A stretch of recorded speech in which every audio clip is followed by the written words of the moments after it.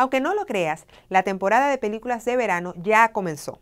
Películas como Avengers Age of Ultron, Poltergeist y el nuevo Mad Max, con presupuestos millonarios, ya están en las salas de cine y la temporada está oficialmente inaugurada.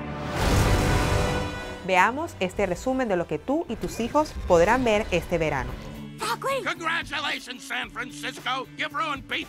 Para los más chiquitos, la diversión incluye unas cuantas películas de dibujos animados.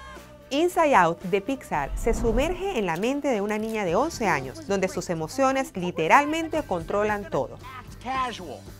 Y para los fanáticos de Despicable Me, la serie de simpáticos personajes amarillos regresan con su más reciente película, Minions. Rupert Green de Harry Potter y la famosa estrella pop Ariana Grande prestaron sus voces para la película Underdogs, una comedia animada sobre una mágica mesa de futbolista.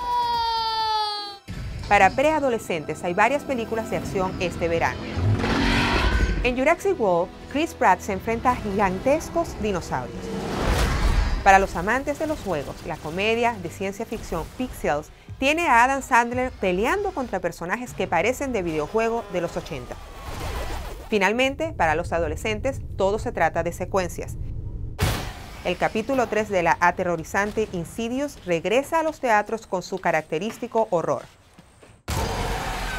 y en el verano no estaría completo sin Tom Cruise.